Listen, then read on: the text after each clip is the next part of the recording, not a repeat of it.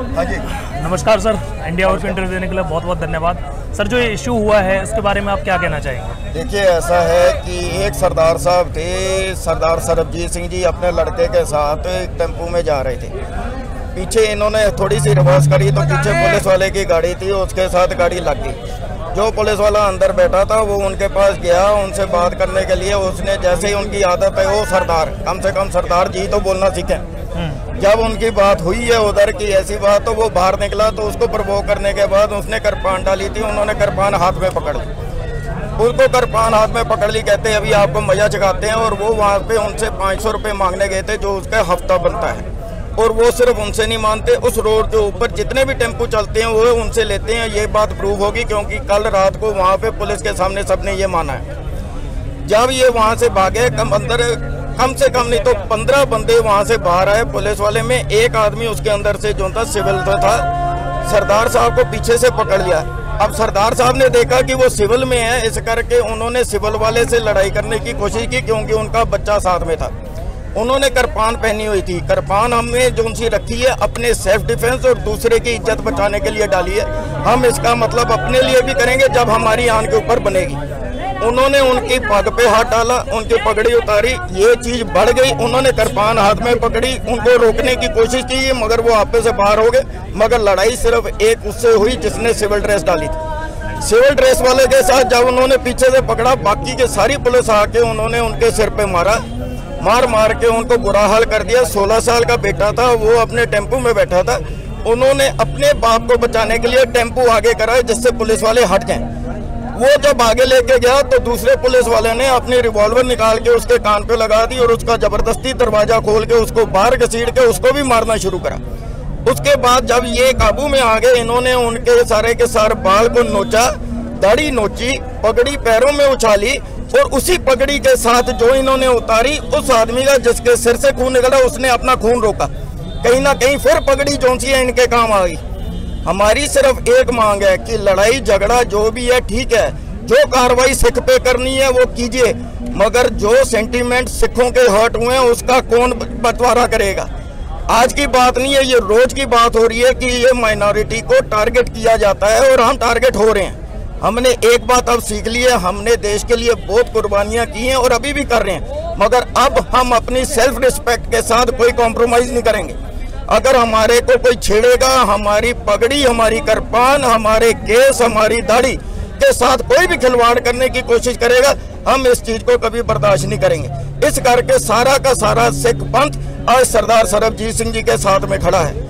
उसके कार्रवाई के हेड जब हमने पुलिस वालों से बात करी, ज्वाइंट कमिश्नर के पास बैठ के हमने तीन चार पुलिस वाले जो फ़ोटो में थे, उनको अभी सस्पेंड करवा दिया गया है। जो केस है, वो क्राइम ब्रांच में चला गया है, जो ज्वाइंट कमिश्नर की सेट बना के करेगी इंटरोगेट और जो से बाकी के पुलिस वाले हैं, वो subject to verification of Sardar Sarabjit Singh. जो वो पहचानेंगे, वो उनको भी सस्पेंड किया जाएगा। और ये सस्पेंशन तक बात रुकनी नहीं चाहिए। हमारी तो मांग है, उनको एक्सपेल कर देना चाहिए कि जो से रक्षक ही अगर भक्षक बन जाएँगे, ना आप, ना मैं, ना ये, ना कोई यहाँ पे सुरक्षित नहीं है। हमने आज तक अपने सिर दे के हिंदुस्तान की रक्षा करी है। जितने भी खड़े हैं, अगर कोई एक बता दे कि आप जाके गजट खोल के देख लो, कितने सिख यहाँ पे आप कह दो कि ये वाले बिहाइंड बाहर हैं, जिन्होंने गलत काम करे और कितने बाकी आपको पता लग जाएगा सिखों का क्या हम अभी भी कह रहे हैं कि हम इस देश के अंदर सबके साथ प्रेम करके रहना चाहते हैं, अपनी किरत करते हैं, अपना बांट के खाते हैं, अपने गुरुद्वारे को मत्था टेकते हैं। हमें किसी की कई बढ़त से, चढ़त से कोई दुख या कोई जलन नहीं है। मगर कम से कम जब तक हमारे को इज़्ज़त हो अगर इज़्ज़त नहीं दे सकते तो कम से कम बोलो मत मुँह फेर लो।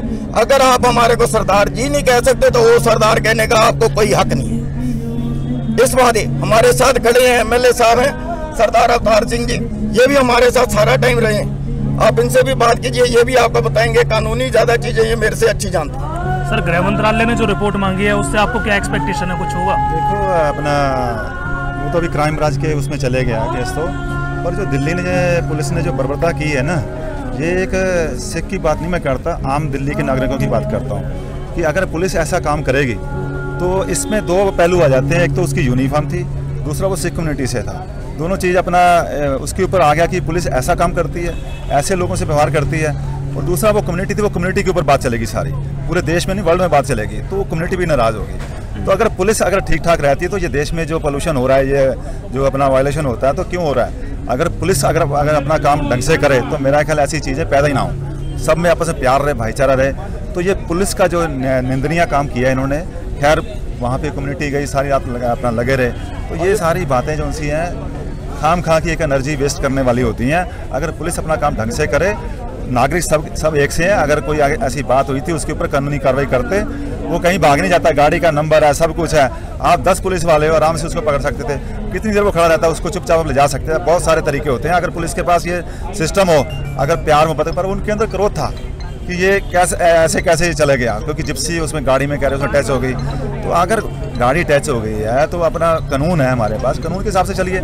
आप जो मर्ज़ी कानूनी कार्रवाई करिए किसी किसी के साथ भी जाके अंदर कोई भी हो नहीं तो ये चीज़ें शोभा नहीं देती जो पुलिस एक हमारा रक्षा करने के लिए बनी हुई है अगर वही बख्श बख्शिश हो जाती है तो कैसे काम चलेगा? देश कैसे देश कैसे नागरिक कैसे सुरक्षित रहेंगे? आप मिले उनके परिवार से सर? परिवार के मैं मिल के आया था उनके फादर मुझे मिले थे उन्होंने बताया मुझे सब कुछ। और वो ऐसा नहीं है कि मतलब कि अपना वो सेवा भावना वाला बंदा भी था पर ये है कि जब उसके उसने जो से सेंटीमेंट थे उनको हर्ट किया तो उसके बाद उसने अपना उसको अपशब्द बोले गए। जब बच्चे किसी को अपशब्द बोलोगे तो कौन बर्दाश्त करता है? उसका बच्चा उसके साथ में उसके उसके बाप को मारा उसका बच्चे में गुस्सा आया उसने भी अपना आक्रोश में आके कुछ किया। तो ये पंद्रह साल का बच्चा है पुलिस उसको मार नहीं सकती। जब वो अपना क्या कहते हैं उसको उसकी एज कम है जो सी उसकी वजह से उसको नाबालिग है वो। तो नाबालिग के ऊपर आप ऐसा अत्याचार कर इतनी ज़बरदस्त तरीके से क्रोध होकर या उसके ऊपर डंडे बरसा रहे हैं। ये कहाँ का कानून है? क्या व्यवस्था है? इसमें बहुत सारी चीज़ें आ जाती हैं जो हम क्लिप्स देखते हैं बहुत सारे देश में बहुत जगह ऐसा चल रहा है। तो दिल्ली की राजधानी में अगर ऐसा चल रहा है तो शेमफुल बात है पुलिस के लिए। तो सर क्या जैसे अभी आपने बताया कि उस बच्चे को मारा गया तो उसमें कहीं ना कहीं बिंदु के भी निकलती हुई दिखाई दे रही हैं। तो इस तरह से पब्लिकली हथियार दिखा के कुछ देखो वही तो बात है कि एक पिस्टल जब थाने में कोई कार्रवाई शुरू होती है तो उसका वहाँ पे नोट किया जाता है। इमीडिएट एक पुलिस वाला उससे बात कर रहा है, वो जाके दस पुलिस वालों को साथ में ले आता है। तो वो रिवाल्वर लेके आ जाता है साथ में। मैंने देखो क्या कॉमन सेंस लगाओ आप कि बच्चे के ऊपर ऐसे रिवाल्वर तान नहीं आके उसको तुम बट मार रहे हो। कहाँ का ये अपना क्या पुलिस क्यों यही ट्रेनिंग दी जाती है कि लोगों से ऐसे प्रभुता से व्यवहार करूँ? अभी सर तीन लोगों को सस्पेंड किया गया जहाँ तक मैंने सुना पर अगर वीडियो में आप देखें तो कुछ ज़्यादा लोग दिखाई दे रहे हैं। तो उस पर क्या एक्शन अभी चल रहा है चार लोगों का सस्पेंड किया गया। चार चार लोगों को किया गया। हरमिंदर सिंह। बताते हैं।